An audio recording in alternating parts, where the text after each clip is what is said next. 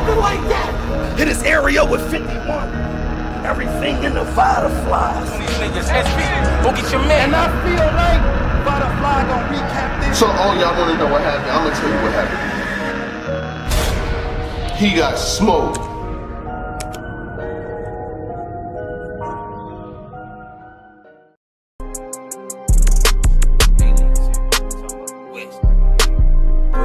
If you don't want no smoke, you shouldn't have started that. Niggas call me out, but never call me back.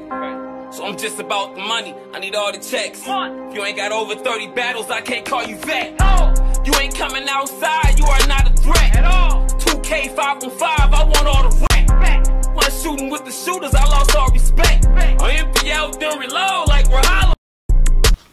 I'm focused, man. Salute to the subscribers, that notification gang, rightsgangclothing.com for the merchandise. You heard me right. Salute to my guy, Showtime SP, the nobody that knows body. So I want to get into this, right? Rum Nitty says I'm ready. I'm ready. Now I wanna I'm, I'm gonna give you some variables about some different things today. And salute to every single one of y'all out there. Every single person who's watching this content. I hope that you are having a good day, you're prospering, you're doing what you gotta do, you're being positive, we're improving our lives and just taking the steps that we need to take to do what we gotta do, right? So you got Rum Nitty. I'm gonna give you my three. Like this is the the, the my prohibited favorite to win this Ultimate Madness 100 bands. I got a couple people who's just my personal favorites. Now you can jump in the comments. They're gonna be there for you. You can tell us who you think, right? You got Freeway and Minnesota Luke along with the other judges. I think those are good judges. Freeway knows bars. Been around battle rap. Is a huge fan of battle rap. And Minnesota Luke is a freaking historian. Like he knows his stuff. So you got, to me, I think my three prohibited favorites to win this whole thing are, and I'm gonna go from bottom to top. T-Top, Geechi Gotti, and Rum Nitty. I think, and I feel like Rum Nitty to me is my prohibited favorite to win this. And the reason why I say that is when it comes to back-to-back punches, being able to layer on material very quickly because when you're looking at judge format battle, it's all about the flash, the bang.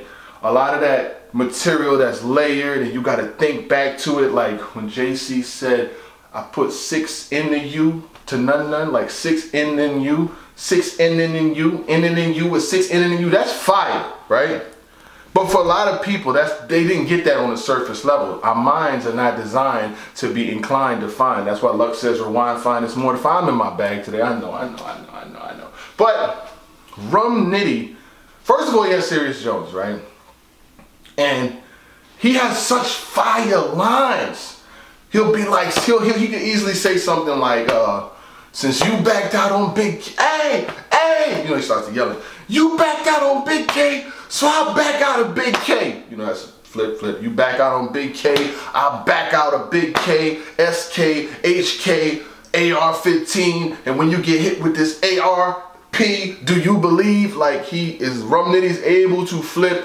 And he'll go with some more lines with a get wet the scuba steep like yo this nigga Rum Nitty is a monster with the bars and the punchlines are there. And they're rapid. And they're back to back. And they're highly intense. You take Romney's performance versus Chilla Jones. His performance versus Nu Jerzey Twork. His performance versus a lot of folks. And you put them in that environment where it's real quick hitting, boom, boom, boom, he's got to be head and shoulders above a lot of the competition there. Now I know in a lot of these tournaments, you know, you got people who aren't expected to win. Like Fonz wasn't expected to win, he won. Home the God wasn't expected to win, he won. So I get it.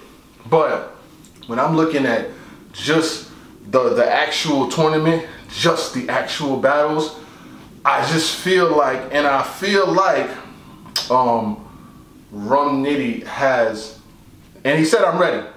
That's Rum Nitty said. He tweeted, and like I said, he don't promote battles. He don't be tweeting about shit, but he did tweet, I'm ready, and it's only uh, Thursday.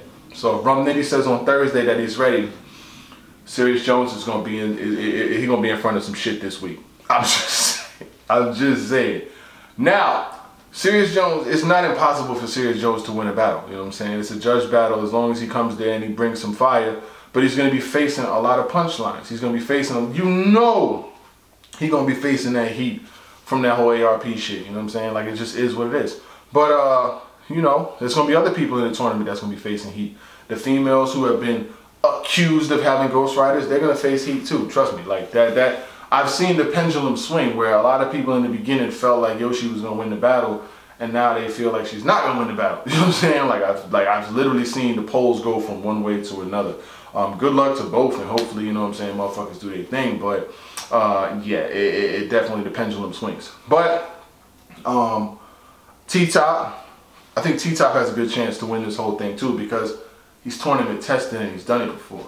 To have won a tournament before on that level like, I mean, it's not 100,000, but to have to write bars that quick and battle opponents back to back to back to back, and he's got Jack Boy Main first. Not not taking nothing from Jack Boy Main, but T Top is definitely a prohibited favorite versus a Jack Boy Main, and it's simply because of what both have done within the last year, within the last couple years. You know what I'm saying? You've seen T Top's career go like this. You've seen Jack Boy Main's career go like this, like that, like this, like that, like this, like that. You know what I'm saying? So currently he's a heavy underdog and rightfully so. I don't think there's many people that don't live in the DMV that's not that's gonna pick Jack Boy Main to beat T-Top. And in these kind of judge scenarios, your first getting that first one out the way means a lot. When you get that first battle done, um, it's like okay, now I got my feet wet.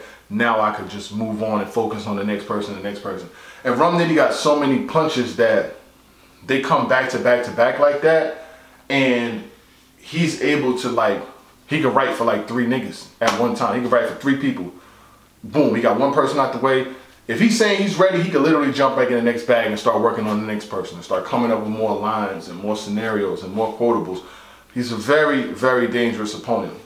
Gotti is definitely one that is dangerous because he's got punches, He's got charisma. He's got a huge fan base and a lot of likability. But the only thing about him right now, to me, Geechi Gotti is battling too much. Um, he's got uh, clean paper coming up in the middle of that tournament. He's probably got like another one rounder coming up in the middle of that tournament. And it's just like when you stretch the product thin and you battle it week for week for week for week for week for week, you could get to a point where somebody who's just focused on you could get the edge up on you, especially if they go second. See, that's the thing about a lot of these tournament deals. Going second means a lot because you leave the last or the lasting impression. So I think that um, he's got a first round battle. If he could get through his first round, which is not going to be a walk in the park, you know what I'm saying? Ain't none of these folks here really like trash per se. You know what I'm saying? Like, I mean, but the thing is, when you get to URL level, like nobody's really trash. Like it's not a lot of MCs that are trash. It's hard to get there. You know what I'm saying? It's like getting to the NBA. Everybody in the NBA would smoke everybody in the damn uh, in the YMCA per se. But uh, I, there are other MCs out there who can go on runs. Um, but I think it means a lot because like, when I look at the list, Jerry Wess could do some things. Swamp could do some things. Uh, you know, Twork could definitely Twork is has the highest ceiling out of everybody, but it's just that preparation. Like for when you have to prepare for a battle, two weeks, one week, quick prep. Twork has never been good with preparation, so it's like he may get a good one out versus KCJ and might even beat a KCJ, but KCJ is not upset alert. This is the one battle where there could potentially be upset and bust everybody's bracket because KCJ is dead nice. Let's not act like we didn't see her versus uh, Swamp. I mean, she beat Swamp, but she's dead nice, and she could easily come in there, bring three fire rounds, especially if she goes second. Or if Twork has any slips or stumbles, not not wishing that, not calling for that, but I'm just speaking from personal viewpoint and viewership. Um, I do hope everybody, you know, brings it and does their thing. Uh, official versus Cortez. I fuck with Cortez, but I kind of got official winning that. Official, official just went crazy versus Tay Roc and got him out of here. You know what I'm saying? To most, you know, Roc, they, they you know, a lot of people was talking about his viral third round or whatever the case may be, but to most and uh, to a lot of folks, you know what I'm saying? Official kind of got that. But I mean, you know, it's like uh, there's some more dark horses in there. You got um, Prep. If Prep Prep has to get by Twork though, you know what I mean? Twork, I mean no, Sway. Prep got Sway. Prep got Sway. My bad, my bad, my bad. I was looking at the old at the old list of things. But I think overall, I am um, pretty confident with my picks of Rum Nitty, Geechi Gotti, and T-Top. Um, if I had to pick, I think the winner will come out of those three.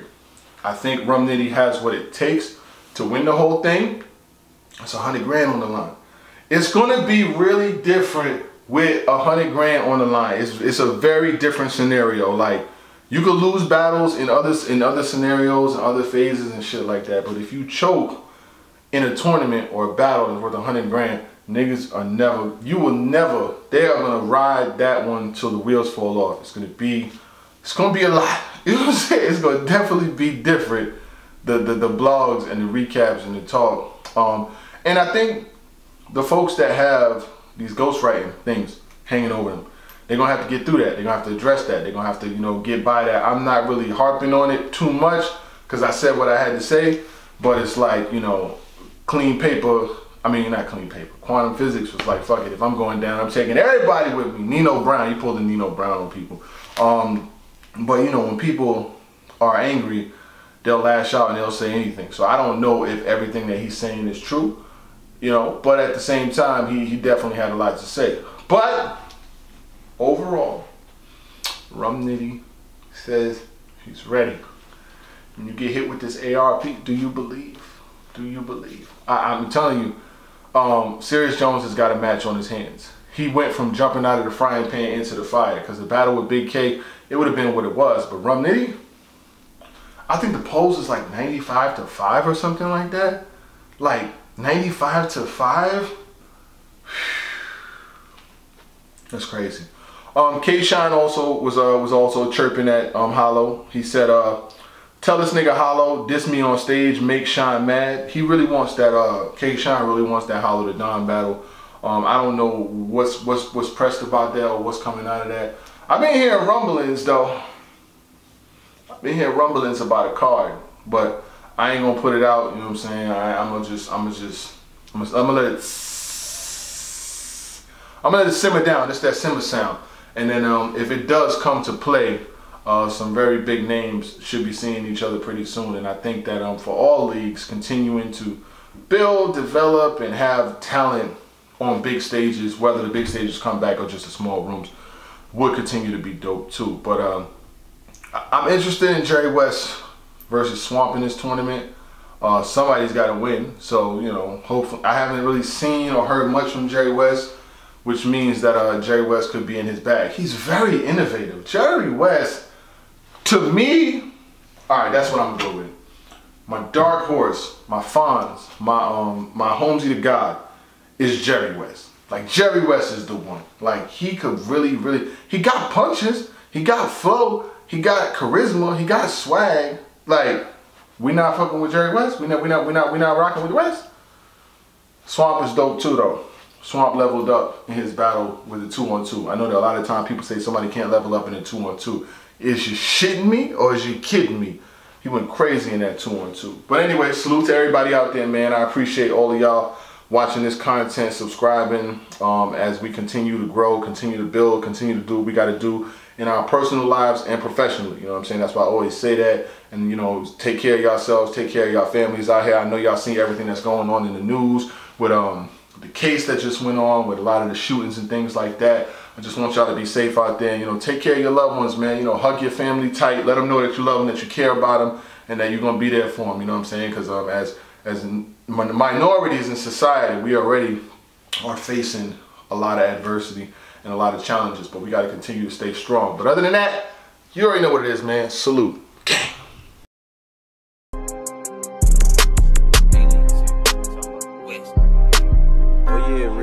Don't want no smoke, you shouldn't have started that. Niggas call me out, but never call me back.